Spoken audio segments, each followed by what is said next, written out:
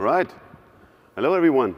Welcome to session, uh, the tech up, or the, welcome to the tech update session for Citrix Virtual Apps and Desktops. My name is Thomas. I'm part of the technical marketing team based out of Switzerland. And with me on stage on his first Synergy session ever, Mayank. Hi. No uh, pressure. Well, I'm sure a lot of you uh, have been expecting Dan to be here. He is my manager. And yes, he's not technical anymore. He's just managing. So he's got a 10 session uh, Geeks Guide to the Workspace that he's running right next door. And I think we're uh, up against him. So thank you for coming here and choosing Yeah. to listen to us. Thomas, take it away.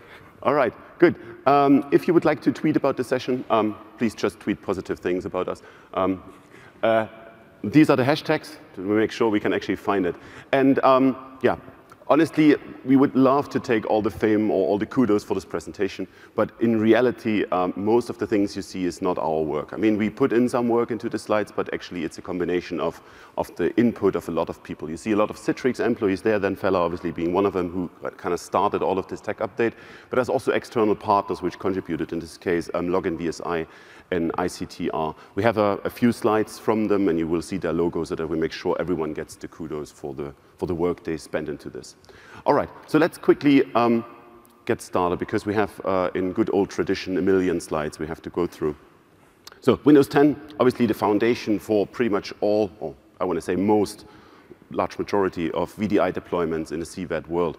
Uh, and Windows 10 is, is great operating system, everything is great, but it has caused obviously a few headaches. And not so much around, uh, not so much around ap application compatibility or new UI or anything like that. The key problem for most of the customers, especially for customers in or large customers, customers in regulated industries, is the fast release cycle, right? Adopting their IT operational processes to Windows 10 has been a challenge. Quick show of hands for my own interest. Who has had challenges adopting the IT processes for, for Windows 10? A few. Who still has challenges? Still a few. Okay, good luck with that. Um, so, um, so operational challenge is obviously one of the one of the key things, um, but there has there are other challenges with Windows 10 too, and I'm not talking about the let's say suboptimal hotfixes which has been released recently, um, but um, it's scalability. If we take a look at the scalability graphs, and you're going to see a lot of those graphs, so I just walk you quickly through them. Obviously, it's a graph, nothing new. Um, it's, in this case, at the top, you usually see what we are looking at. In this case, it's going to be Windows 10, and we're looking at the available memory uh, graph. And what we've been using for all the tests is login VSI as the test metric. And in, in the vast majority, it, using the login, uh, the knowledge worker, login VSI knowledge worker workload. That's a little more performance intensive or resource intensive than the task worker, just for your information. If there's something, some deviation from that, in case there's some optimization or some other workloads being tested, then it's being pointed out. All right, so let's focus on Windows 10 and the challenges. Obviously, so this, this is uh, Windows 10 15.11 release a few years ago. And then from there, the resource consumption only increased, right? So this is the next release, next release, kind of hit it, and then we go down. The only release which kind of went up a bit is the 1809, which is kind of the last release. I mean, this morning or last yesterday, they released 1903, and we haven't got around to test it yet. Um, so we will see if that will increase any of that. But obviously, this increase of performance, and this is quite a bit. I mean, if you look at the scale, this is quite a few hundreds of megabytes of change. Um, that on a large scale deployment has quite some impact. Um, and, and, one of the reasons, obviously, for this is that there's a lot more going on under the hood of Windows 10. So this is uh, all the Windows releases, top to bottom. Um, there's not so much on change on default apps, but a lot more services and a lot more scheduled tasks to run. Obviously, there's things we can do, we can optimize, and we could get to that later on. But out of the box, there's a lot more going on. Hence, there's a lot more resource consumption. We'll see how 1903 will perform if they change the way. And we looked at memory. CPU utilization is the same thing. This is a slide from Login VSI. Um, you see that this gray line that is the number of users logging on into the system. And as more users logged in, we see the CPU uh, increasing. These are the versions uh, going in chrono chronological order. And um, as we get closer to today, they get, bad, uh, get, get worse. One big issue is coming with the last release. And that's OneDrive. You see, that's like quite a bit of a different things. If we remove OneDrive, then we get a lot closer. So OneDrive is really a performance hog. And um, it's great. It does a lot of great things. I mean, I think ShareFile or Citrix File is a lot cooler, but that's my opinion. Um, but it's a performance hog. and you need to uh, really pay attention to it if you want to have it run in, which is default, or if you disable it. Um, the same thing is with log-on times. So if we look at uh, a similar chart, we log on users. The more users on the system, the higher the pressure on the system, the login times goes up. That's, that's what is expected.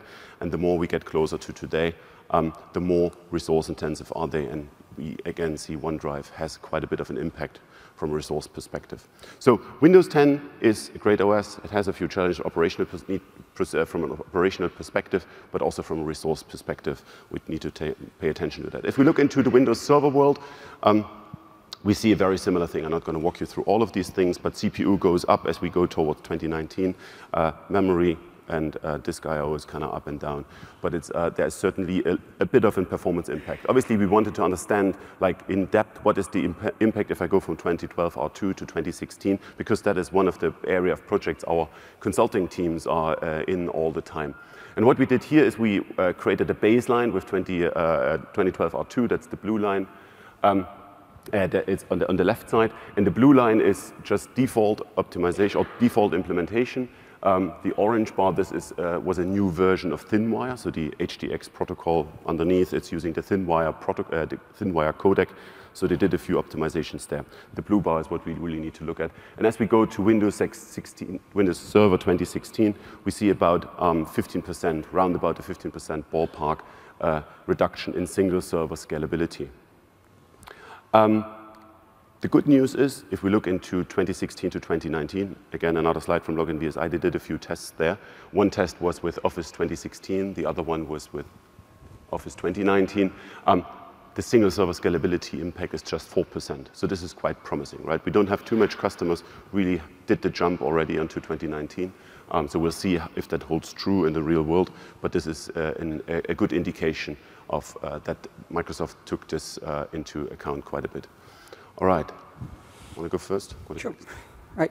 So when we talk about the difference between Windows 10 and 2016, we wanted to take a look at what is the actual difference between the server operating system and the Windows 10 actual desktop operating system. And if you've heard about it, we are actually going into the Windows Virtual Desktops option where it is actually a multi-session operating system.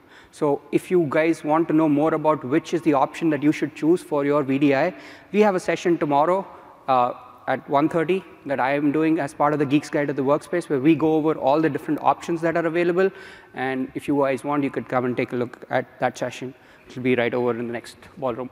So quickly going over the different uh, CPU usage of a task worker versus a knowledge worker and the different uh, optimizations that we do with Windows 10 versus Windows Server 2016, we can see that the CPU usage is almost half every time versus uh, 2016 Windows 10 is always more. But on the bandwidth consumption side, it is almost the same. So if you're looking for any workloads that are more CPU intensive, then you want to make, maybe move to a, to a server 2016 uh, versus a Windows 10. And obviously, since WVD is not GA yet, we haven't benchmarked that piece out yet, but we soon will as well. Uh, handing back to you. Yeah. So unfortunately, we don't have a, graph here for uh, Windows 10 multi-user. Yeah, that would be great. It's 20, 20 to 30% right impact on overscalability. So that's obviously another way of, uh, of creating a desktop for the user. So delivering a desktop to the user, it's obviously usability or, or uh, application compatibility and so on, as we learn tomorrow.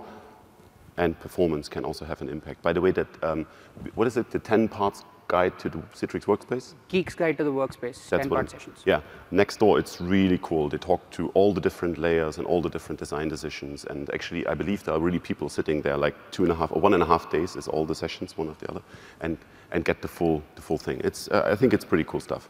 Anyway, let's get going. And let's look into optimizations. I mean, so far we've looked a lot at scalability graphs and uh, the default configurations, except for removing OneDrive in some cases. Um, now let's have a look into optimizations a bit. But I'm, I have to disappoint you again. Uh, we're not talking about individual or actual optimizations. There is a great session for that. So we removed it from this one. This is uh, running later today. Martin Zugec and Rob Zylowski are running 45 minutes talking through all the different optimizations you can apply and what the individual impact is on each of them. So if, you, if, if scalability optimization is your thing, make sure you go there. I think it's repeated tomorrow as well. I'm not exactly sure, but I think tomorrow afternoon we're going to have that session again. So, but one thing, obviously, we have a few things we have to share anyway optimizations. There is, optimization is more of an art than a science in many cases. And um, there is, um, I think just a few years ago, there were hundreds of pages of recommendations for optimizations, and everyone has their own little personal twist to it.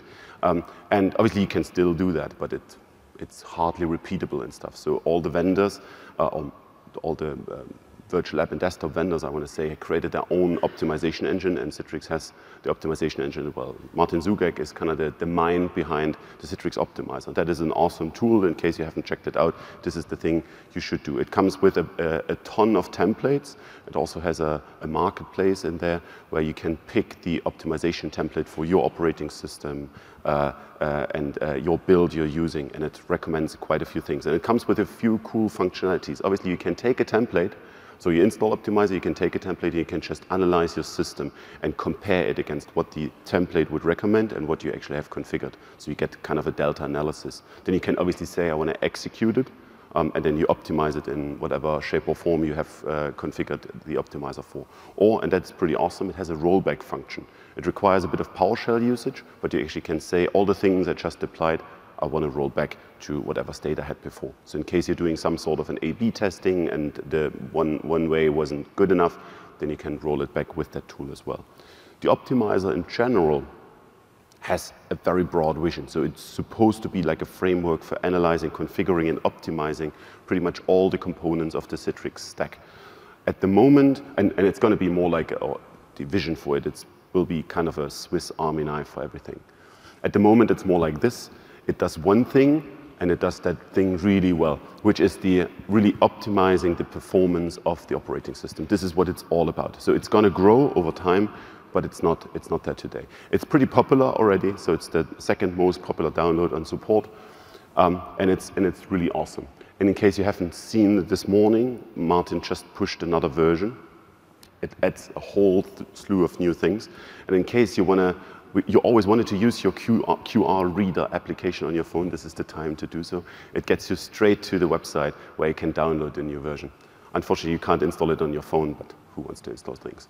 Um, so the optimizer is pretty cool, and just to get you an idea of uh, that optimizations actually can do something, another performance chart. And what we have here is uh, we test Windows 10. We have, for the baseline, we have already removed OneDrive um, just to get it somewhere close.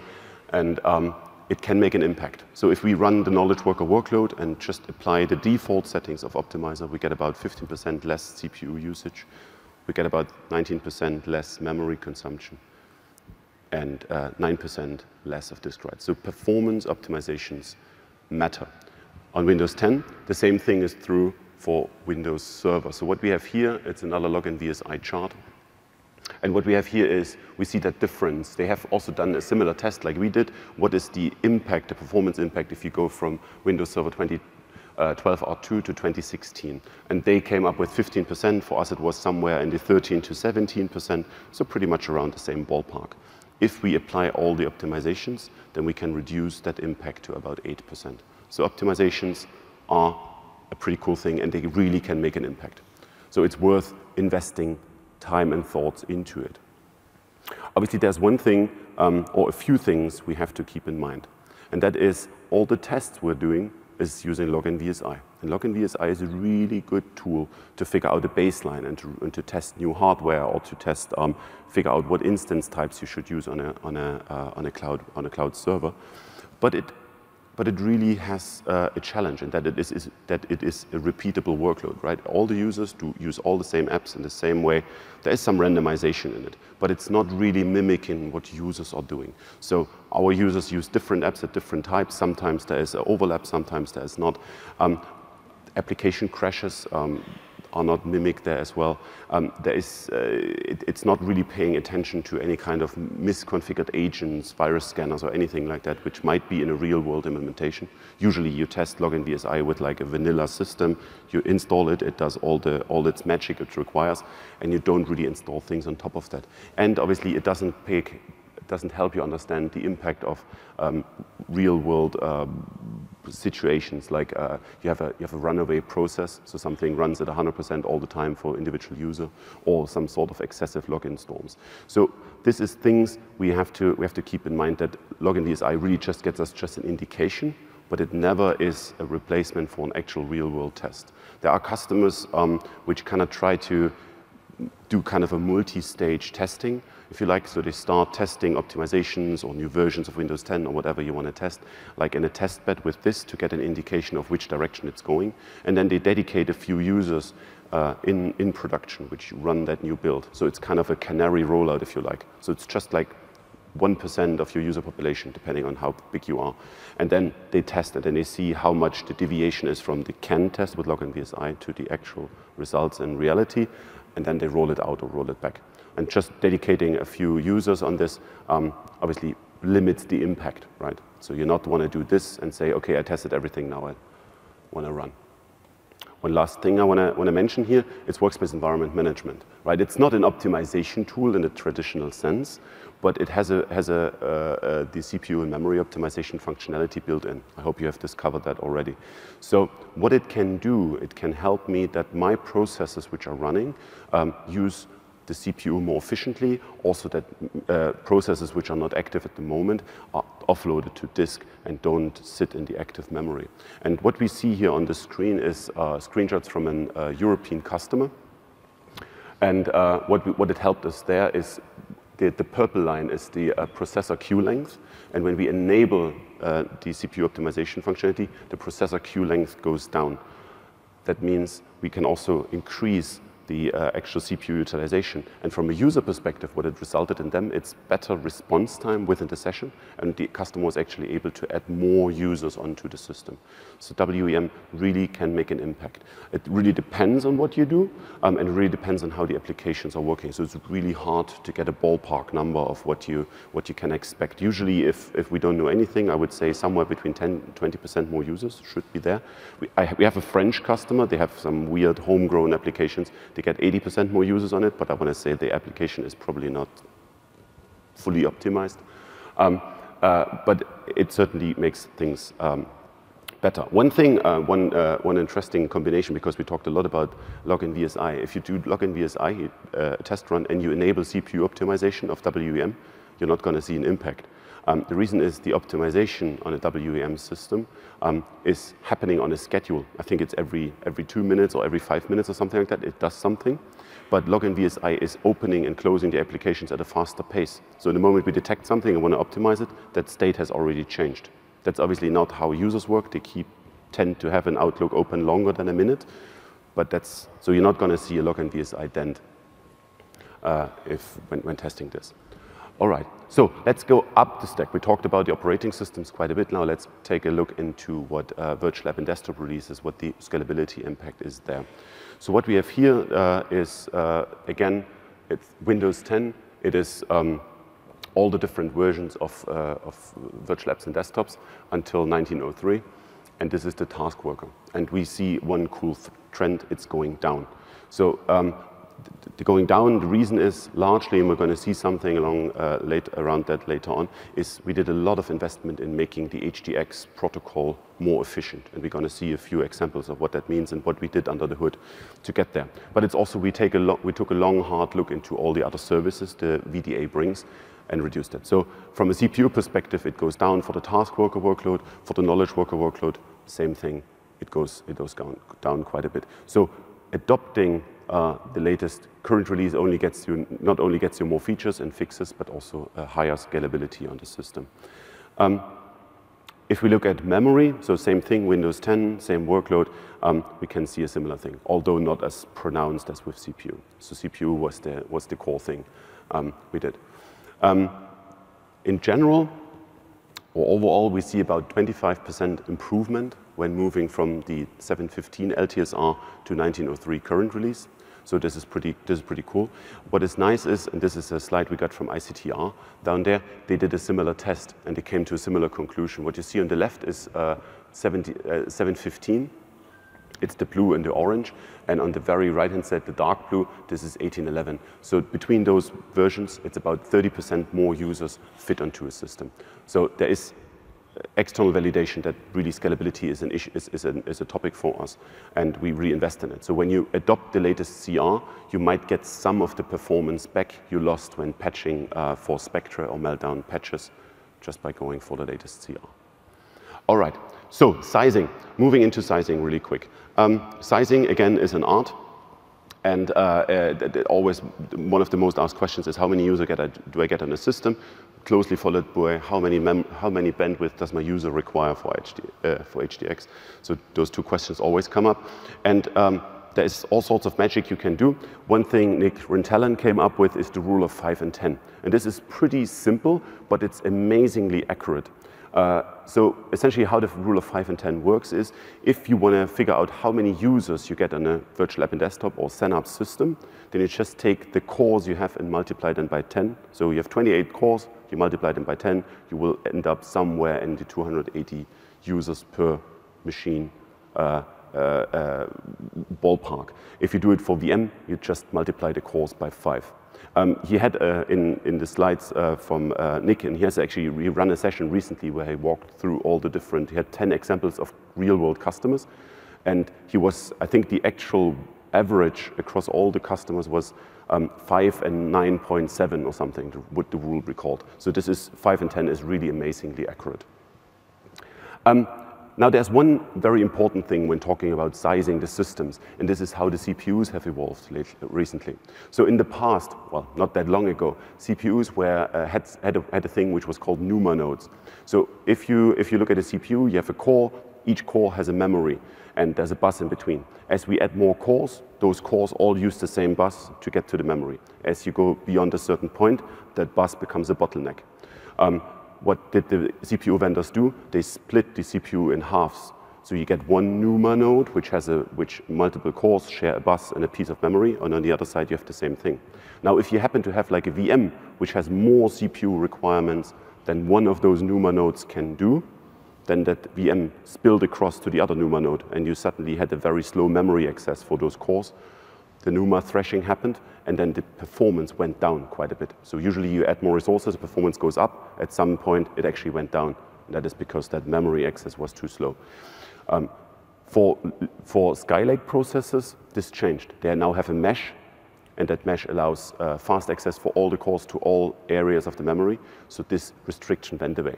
So what is our recommendation for sizing? If we start with something, this is what uh, we do for VDI.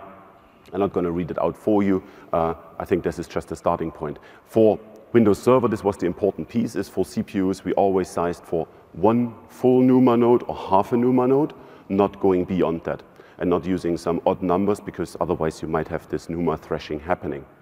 This is for the older CPUs, obviously. For newer CPUs, this whole thing goes away. I mean, memory sizing and stuff is still there, but the, the CPU piece is going away. The, now we size around operational things. Obviously, we can create a massive, massive VM which has like hundreds of users on them. The challenge is what happens if you're going to maintain it or if it goes down for some other reason. So the failure domain is huge. So you want to keep it small. So then it really comes down to your operational requirements, what you would like to do. So it really is your thing. I think at the moment we don't really have a best practice, but um, we, uh, uh, but it's, uh, we, I think we just used the starting points we had in the past. So moving on, scalability in the cloud. We have, um, uh, obviously the big question is uh, on-premise is nice, but how do I size in the cloud? So we did uh, same Login VSI loads across all the different instance types on Azure, and the F16 series um, holds the most users. But obviously the function in the cloud is what is, uh, what is the cost associated with each user. So if we take that and multiply it by the cost, then we end up with this. And at the end of the day, the F16S is our favorite. The reason for that is you get the most bang for the buck, and each user is somewhere around the two cent per hour uh, in this case. So it's pretty, pretty awesome. So how about HDX? Oh, no. No, we got a few more. How about HDX? okay. All right. So uh, I'm here to talk to you about all the optimizations that we've done with HDX and how it actually impacts the user performance and how it, you can make your users get the best experience even if you just tweak policies inside of the uh, inside of Citrix policies. So the first thing to note is that applications themselves are not constant. The amount of traffic that get, gets, gets sent over the wire or even a single application could just vary based on what you're doing with it. So for an example, when you're presenting, like we are, you can see the, all those spikes. If you're creating an, a PowerPoint, it's flat. The amount of data that's going through is very less. Okay, any, any idea why they're spiking? Anybody?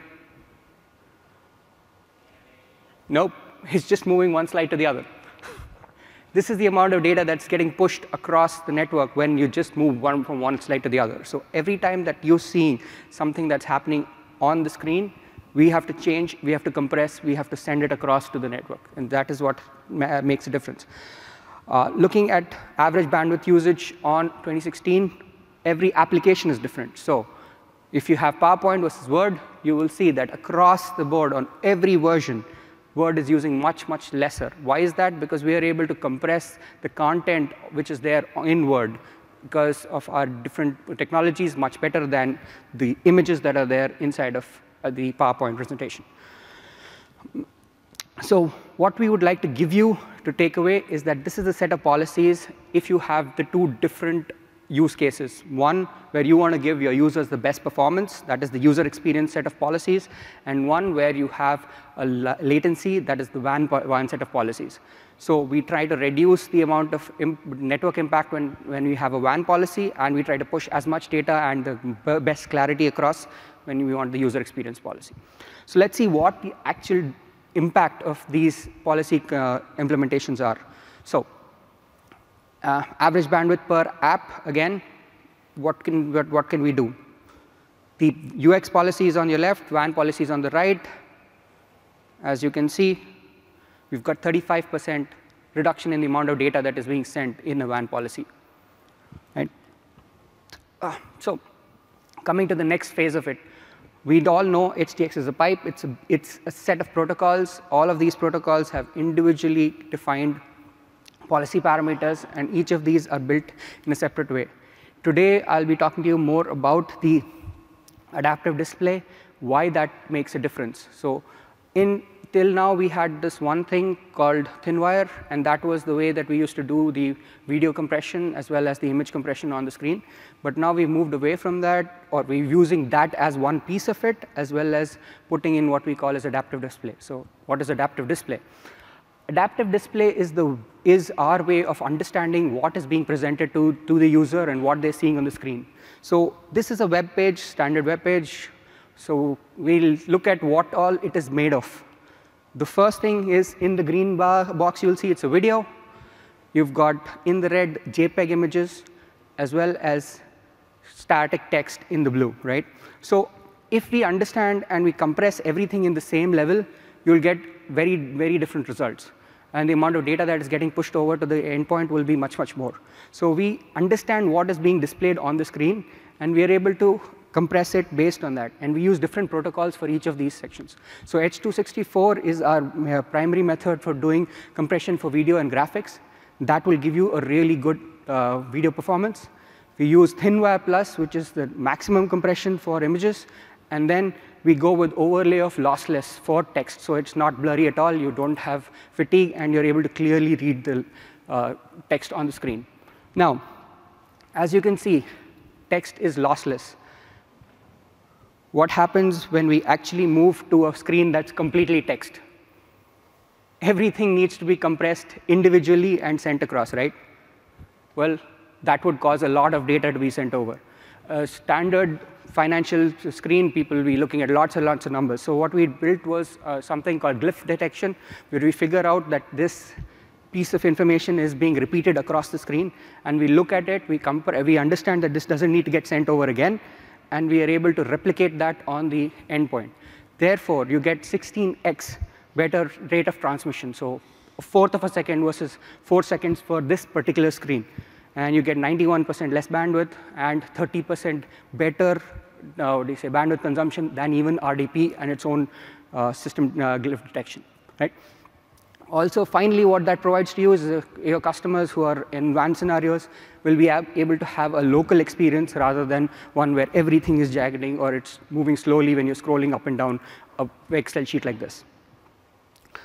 Another thing that we have built is H.264 built to lossless. This is a really cool technology where you, you have a user that wants to graphics intensive workloads, but then there's a lot of interaction that's also happening.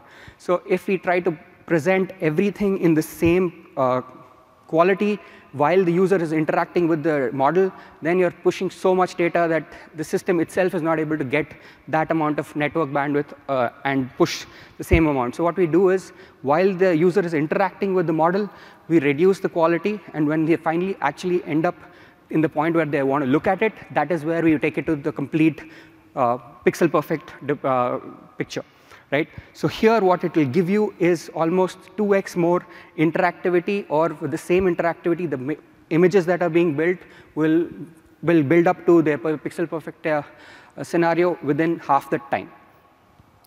And that is available in 718 or later. So let's see what the impact of the CVAD releases are on the actual HDX uh, uh, performances. This is the amount of data that is being sent for the knowledge worker, and we're using the UX policy here. So as you can see, individually, each of them are almost the same, and we will try to improve them as we go, and the final one is the best. Like 1903, we've always been improving, and you'll see why in a bit. Again, this is the experience work experience uh, policy for the UX work, for the knowledge worker. Now, when you set the WAN policy, as you can see, almost half of the content is being, I mean, the bandwidth is being consumed because of the policy reducing the amount of content that is being sent. Now, we added glyph caching in 713, and we added glyph caching the version 2 in 718. So now let's take a look at, right now we saw, till now, everything that we saw was a knowledge worker. Let's see the task worker workload where all of the uh, workload in VSI is more towards Excel sheets and your email management. And as you will see, as soon as we put glyph caching in, it drops a hell of a lot, right? Because there's no, that all of that input that was going through just wipes out from the screen, right? So glyph caching version 2, that's where you want to be, or further at least. All right. So thank you. so this was adaptive transport, and adaptive transport, I mean, adaptive display works on top of what we call adaptive transport. And here, the ability to, uh, it uses what we call enlightened data transport, which is using UDP or reliable UDP as we call it.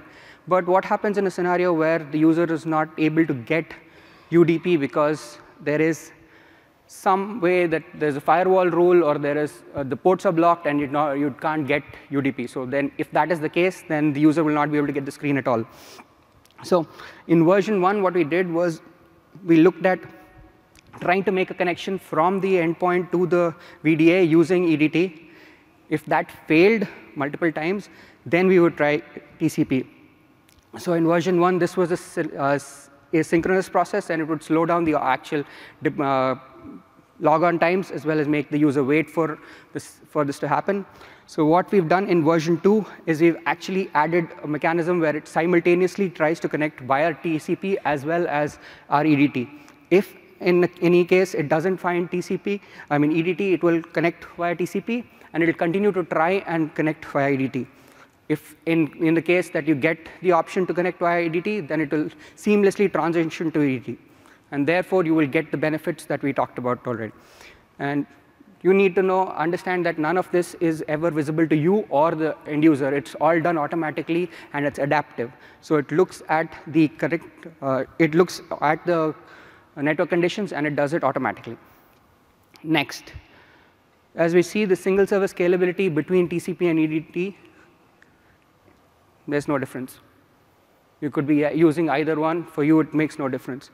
On the bandwidth side, what you will see is there is a 15% uh, requirement more on the WAN side because there, is, there will be some requirement for re, uh, transmitting the data based on the, uh, it being a UDP network, based network, and taking more data once it doesn't reach there.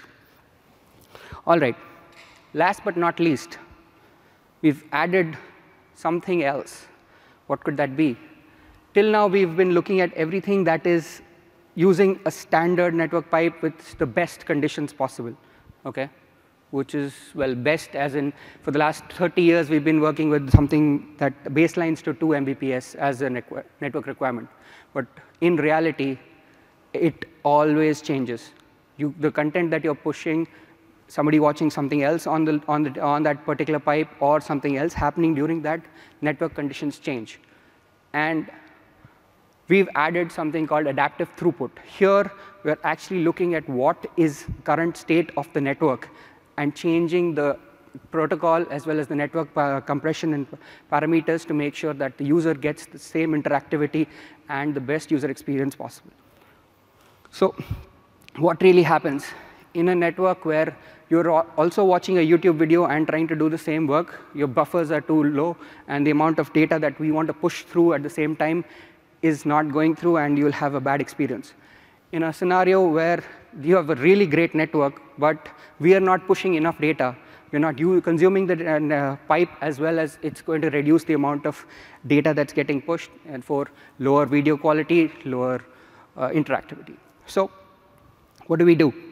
We actually keep looking at the current network conditions. We measure round trip every four seconds, and we have a we have a default value of 400. If it goes over 400 any uh, for four consecutive times, we will drop the output buffers to 100, and and based on further tests, if it increases, then we will push them back up. And all of this is again underneath the covers. You don't have to worry about it. We will do it for you. Make sure that the users have the best experience. So what does this actually translate to in the real world? As you can see, without optimization, everything is below the 2 Mbps mark. None of the data being pushed can actually make it through, even if there is pipe available. But in the, after the optimization we've built in, you could push a lot more data. So as one of our customers has told us, they have, uh, they have a roving operation where they need to go to 22 different locations across the year. And all of their data needs to be uh, managed at their headquarters. And they act actively look at what is happening in the real world with 1080p, 60 FPS video content. Without this, it was not possible at all.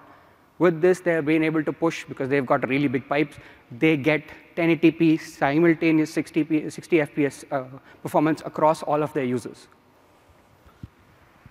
So what we look at with the adaptive display, I mean, the other throughput improvements are if you're trying to copy a 400 MB file from the server to the client, we get 2x benefit. And this is the kicker.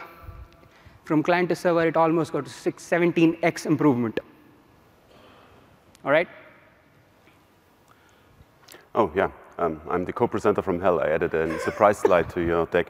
Um, we had a, we had a, um, this, sorry for that. Um, we, had a, we had this, uh, we had this, um, you might remember the keynote when we said um, we do a lot less, or we require a lot less, uh, uh, lot less spending per user when going into cloud, compa us compared to our friends at VMware. And the question was like, how the hell did you get to that? Um, essentially, this is really a simple test. Login VSI again. Uh, uh, in this case, I think it was the, what was it? I think the, oh, task worker, knowledge worker. And essentially what you, what you see is on the left-hand side, the four bars on the left-hand side. This is a D3v2 instance. The blue bars is Citrix. The green bars is VMware um, with the BLAST protocol, which really performs bad. It has a great graphics uh, quality for video content, but as soon as you go off the video content into any kind of text, they still use the video codec, the H.264 codec, to encode everything. And H.264 encoding is really, really, really performance intensive. And you have seen my Mayank with all the things, how we decompose the desktop. They don't have this intelligence at the moment. So it's all or nothing for them, which results in a significant drop. So we can get almost double the number of users onto, onto a system in cloud, um, and hence we have half the spending. So back to you. Thank you. All right. So we've been talking about a lot of things that have been only to do with CVAD. But Citrix has so many other offerings as well. So what do we do when we actually integrate with our partners' uh, product like SD-WAN? We are able to have the ability to give you even better performance. How do we do that? Let's take the example of an enterprise internet. Normally, what will happen is everything that is being going, goes through, going through the desktop has to go through the MPLS, goes back through back channels through the uh, to data center, and then hits the SaaS sites and is there for inspection and all of those procedures. Everything needs to go back uh, backhaul to the traffic to the data center. Now, what this causes is that single pipe that gets flooded with things that don't really need to hit it. So what we can do if we've got SD-WAN is the ability to understand what the traffic is. So we can see exactly into the ICA protocol and figure out what data is being sent and how it needs to be optimized, as well as we can multi-channel that data across the MPLS, across a mobile LTE, or directly over the internet. And what these two devices will do between them, they will actually be looking on, the, in, on these different networks and understand the current network conditions and be able to figure out which is the best path for this data to be going over, right? So what will happen really is that we are able to see the ICA priority for each of the individual content that is being sent. So audio, which is the most important real-time communication that needs to be the highest priority, your graphics and video, which is the next priority, as well as file transfer and printing in different priorities. So we figure out where this data needs to go under what channel, and we're able to actually figure out, without having to do any changes on the CVAD setup, the ability to push data across wherever it needs to go as the best channel possible. If we've got enough bandwidth, we'll send everything MPLS. Otherwise, we will move it based on wherever it needs to go. So that would be the great value add that you will get with better together Citrix. And That's good. Awesome. So let's bring this home. Um, quick summary, and in the interest of time, uh, we keep this really short. So Windows versions, upgrading is great, but it has a scalability impact pay attention to that. Um, if you optimize, don't over-optimize. Always keep in mind whatever optimization you add remove, gets you away from the standard, and only the standard is being tested, right? Microsoft is not testing any, any crazy optimizations, neither do we do. So the more you optimize, the more the chances you get into a configuration area which uh, is uh, out of bounds, and if there's a problem, you have to revert back to the standard. So keep that in mind. It's always like this trade-off, like more servers versus more challenges with troubleshooting.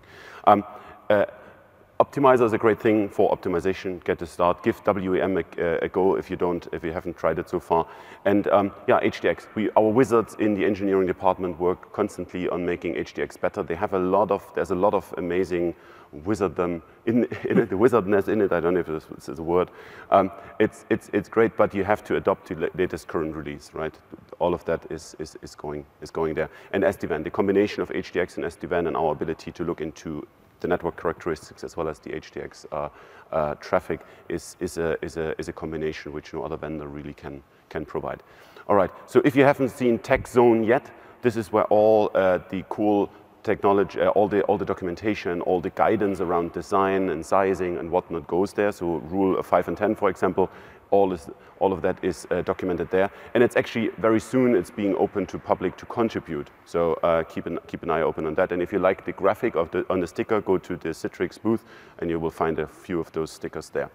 Um, please, uh, yeah, before you leave, um, his Geeks Guide um, session uh, about multiple ways to deliver a desktop is coming up tomorrow. They're, they're all next door, so go there, check it out, and please rate the session. Thank you very much.